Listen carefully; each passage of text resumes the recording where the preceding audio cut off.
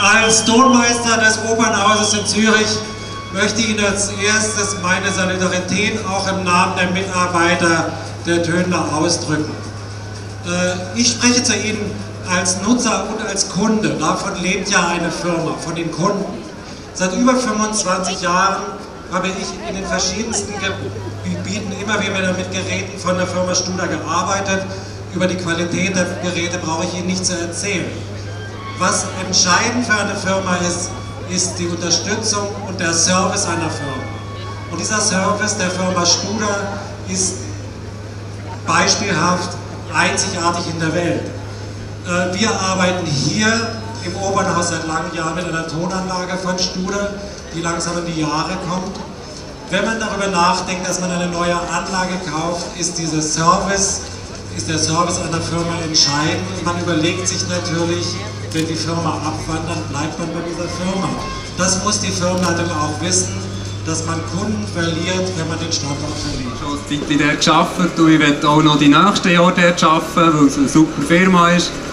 Und ich bin der Meinung, wir müssen kämpfen für das, was wir haben, was wir haben aufbauen. Und ich bin dagegen, dass man das einfach so irgendwelchen geldgierigen Zweck überlässt. Und darum würde ich sagen, kämpfen wir weiter, kämpfen wir auch für die, die ihre Stelle bereits verloren haben. Stehen wir zusammen und gegen Gas, gegen die ja, wirklich grusige Geschichte, die hier läuft.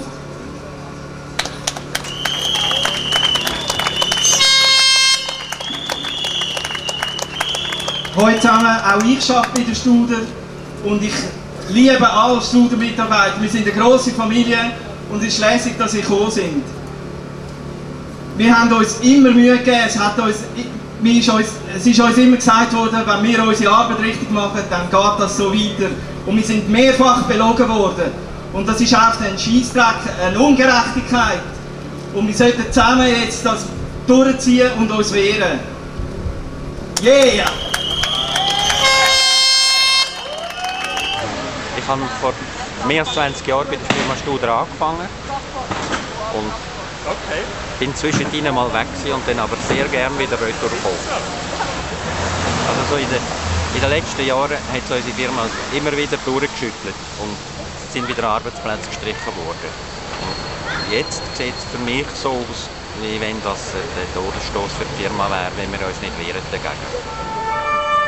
Also ich arbeite seit 30 Jahren in dieser Firma und die ganze Produktionsverlagerung von der Produktion von Regensdorf auf England, unsere Produktion, die so eng mit der Entwicklung verwoben ist, das macht etwa gleich viel Sinn, wie wenn man in der Schweiz 18 Punkte im Mio-Restaurant hat und in England ein Fish and Chips stand.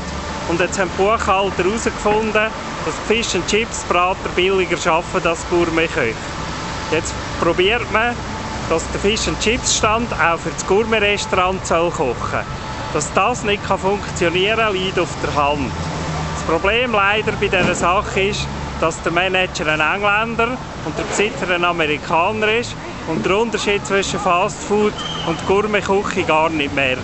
Hello, I work for Studer and Soundcraft. I'm a software developer and I'm proud of it. We do very well designed products with high quality and I fear that moving out production to England will lead to a bad quality of production just because the time frame is too short and I think it's too dangerous to do that now and we will or we have to fight that to keep the good quality and the good work we do here. We wanted Studer stays in Switzerland. There's absolutely no sense to transfer production and all those things to England. We know that is a plan within the Harman concern, but we want to stay here. We don't want Harman to kill Studer in Switzerland. Also, Studer bleibt.